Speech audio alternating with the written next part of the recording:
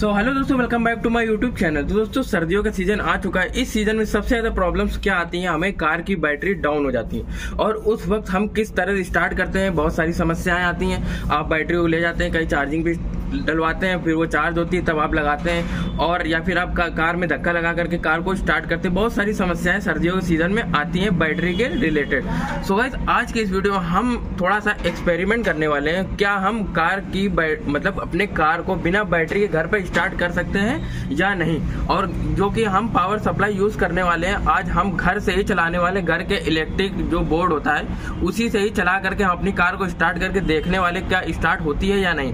और किस चीज़ से हम स्टार्ट करने वाले, वो है कंप्यूटर का S M P S so guys ये हमारे कंप्यूटर का जो होता है सीपीयू में लगता है, वो इसका पावर सप्लाई है, इसको एस एम पी एस भी बोलते हैं। और ये आप देख लीजिए 12 वोल्ट के हमें चाहिए, और इसमें 12 वोल्ट 18 एम्पियर आप दिखा रहा है, ये देखिए। ये 18 एम्पियर का है, और जो हमारी कार की बैटरी होती है, वो होती है गाइज़ 35 एम्पियर की।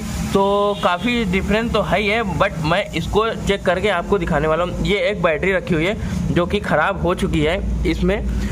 तो इससे तो कार स्टार्ट है नहीं, क्योंकि ये डैमेज हो चुकी है। मगर जो हमारी ये बैटरी लगी हुई इससे हमारी गाड़ी स्टार्ट है। और अगर ये बैटरी डाउन हो जाती है तो उस वक्त हम क्या करें? हम क्या करने वाले इस बैटरी को पूरा रिमूव कर देंगे, हटा ही देंगे। और फिर अपने हम कम इस एसएमपीएस से अपनी इस कार को स्टार्ट करके देखने वाले क्योंकि इसका हमने जिस तरह से वायरिंग करनी हम कर चुके हैं। इसमें देखिए ब्लैक वाले सब एक साथ ले आए और येलो वाले ले आए ये हमारा पॉजिटिव हो गया, ये हमारा निगेटिव हो गया। तो अब हम इसी को इलेक्ट्रिक बोर्ड में लगा करके पूरे हमने वायरिंग सिस्टम कर रखा है, यहाँ तक कि बोर्ड ले आए तो अब हम इसमें लगा करके इसमें चेक करने वाले हैं, बैटरी हटा देंगे। इसमें जो इसके टर्मिनल है, इसमें हम अपना एसएमपीएस पावर सप्लाई लगा दें। फिर देखते हैं हमारी ये कार स्टार्ट होती है, यानी जो कि हज़ार सी की इंजन है ये, मारुति जेन तो इसको हम स्टार्ट करके देखने वाले तो क्या करते हैं इस बैटरी को कर देते हैं पूरी तरह से रिमूव फिर हम अपने एसएमपीएस की कनेक्शन इसमें करते हैं। तो बैटरी को हम पूरा रिमूव करके यहाँ से हटा ही देंगे। ये सो so ये हमने एसएमपीएस का पॉजिटिव वाला वायर है, आप देखिए। ये हमारा ब्लैक नेगेटिव वाला। तो इसका जो पॉजिटिव वाला है, हम इसी में ही इसको फिक्स कर देते हैं, अच्छे से टाइट कर देते हैं। सो so ये काफ़ी अच्छे से हमने इसको फिक्स कर दिया है। और अब हम बारी है इसके नेगेटिव वाले पॉइंट को लगाने की। तो इसका जो नेगेटिव वाला वायर है, इसके नेगेटिव वाले वायर में हमें इसको लगा देना है। सो गैस हमने कंप्लीट इसमें वायरिंग कर दिए फिक्स ये नेगेटिव पॉजिटिव कंप्लीट हमने वायर लगा दिया है, बस ये कहीं टच ना हो। अब हम इसकी जो पावर सप्लाई जो है, वो हम लगा देते हैं अपने बोर्ड स्विच बोर्ड में, ठीक है? ये हमारा स्विच बोर्ड है और इसके बोर्ड में हम इसको कनेक्ट कर देते हैं।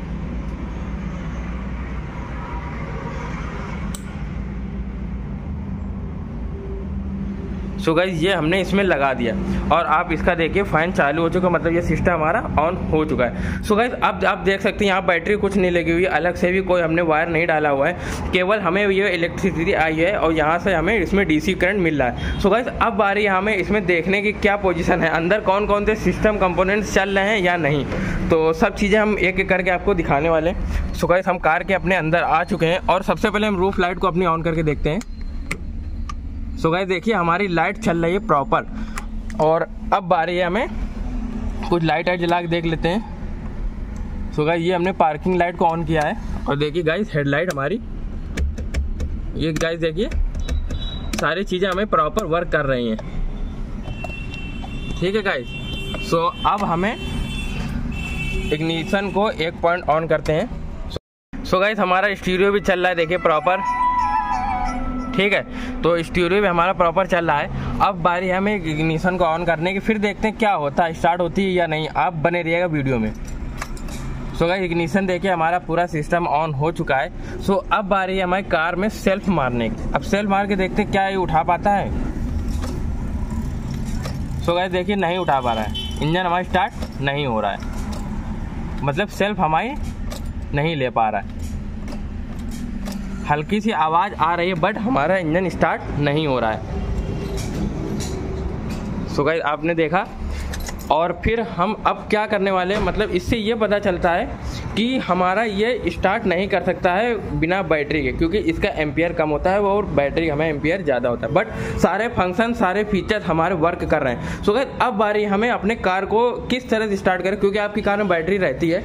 तो उस वक्त मेरे में एक बैटरी हमारी डाउन है जो कि उसमें पावर सप्लाई नहीं है। उसको हम पहले आपको इसमें लगा दे रहे हैं। फिर हम देखते हैं क्या वो बैटरी और ये दोनों मिल करके हमारी कार के इंजन को स्टार्ट कर सकते हैं या नहीं। वो भी हम चेक करने वाले हैं। सो so गाइज़ ये वाली बैटरी हमारी डाउन है और डैमेज है। तो ये ख़राब है बैटरी तो इसमें 10 वोल्ट दिखा रहा था। तो हम एक बार बिना SMPS के बैटरी में ऐसे पावर सप्लाई लगाते हैं। और ये हमारे निगेटिव हो गया। और ये हमारा पॉजिटिव हमने इसमें लगा दिया, ठीक है? तो अब हम बारी है अपने कार को स्टार्ट करने की। सो so गाइज़ आप देख सकते हैं SMPS हमारा ये ऑन है तो इसको हम कर देते हैं ऑफ़ और यहाँ से हम इसकी के तार को हटा देते हैं। सो गाइज़ आपने देखा, हमने इसकी वायरिंग पूरी हटा दी है और हमारा एसएमपीएस है पूरी तरह से बंद। ये देखिए, इसके हमने कनेक्ट केबल हटा दिए। अब हम एक बार स्टार्ट करके देखते हैं ये बैटरी क्या कार स्टार्ट कर रही है या नहीं। फिर हम वीडियो में आगे बढ़ते हैं। सो गाइज़ बाकी फ़ंक्शन आप देखिए लाइट सब चल रही हैं। और स्टार्ट करके देखते हैं, जिसका बैटरी डाउन हो जाती है आपकी गाड़ी, ये देखिए। ये देख, क्या कंडीशन है? बैटरी एकदम डेड है डाउन है। इंजन स्टार्ट नहीं हो रहा ये देखिए। सो so, अब हम बारी है एसएमपीएस को ऑन करने की। क्या एसएमपीएस मिल करके हमारी कार को स्टार्ट कर सकता है यानी क्योंकि ये सेम वही कंडीशन आ चुकी है जो कि आपकी बैटरी डाउन हो जाती है। उस वक्त आपकी कार स्टार्ट नहीं होती है। ये कंडीशन है। सो so, एक बार ट्राई करके देखते हैं क्या पोजीशन होती है। सो so गाइस हमारा एसएमपीएस ऑन हो चुका है। और, अब देखते हैं भाई गाइस दोनों मिल करके क्या हमारी कार को स्टार्ट कर सकते हैं या नहीं? क्योंकि एक बैटरी डाउन है और हमने पावर सप्लाई भी दे रखी है। सो कोशिश करते हैं कि क्या गाइस नहीं, इंजन में थोड़ा सा लोड आया मतलब इंजन हल्का तो घूमा बट स्टार्ट नहीं हुआ। तो गाइस देखिए स्टार्ट नहीं हुआ। तो एक बार और ट्राई करते हैं, क्योंकि एसएमपीएस हमारा कट हो चुका है ऑफ़ हो चुका है। सो so जैसा आप देख सकते हैं, इसमें आठ वोल्ट ही बैटरी का दिखा रहा है, और एसएमपीएस हमारा ऑफ़ हो जाता है कट हो जाता है, ज़्यादा इस पर अगर लोड पड़ता है तो। तो इस कंडीशन में हमें क्या जानने में मिला है कि हमारा S M P S start नहीं कर सकता हमारी कार को। भले ही 18 एम्पियर ऐसे बहुत सारी चीज़ें आप चला सकते हैं बट हमारे कार को स्टार्ट नहीं कर सकते हैं इस SMPS की मदद से।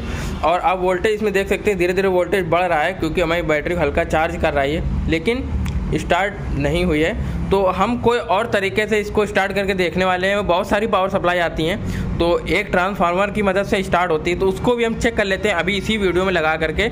तो ये सिस्टम को हम पूरा हटा देते हैं, यहाँ से इसका जो पूरा लगा हुआ है। फिर उसके बाद उस चीज़ से हम अपनी कार को स्टार्ट करके देखने वाले हैं। सो so गाइस हमारा जो एक्सपेरिमेंट था वो फेल हो चुका है। किसी भी पावर सप्लाई से हमारा कार स्टार्ट नहीं हो रही। देखिए दोनों ट्रांसफार्मर रखे हुए हैं। वो भी लगा के देखा बट हमारी कार का इंजन को स्टार्ट नहीं कर पाए।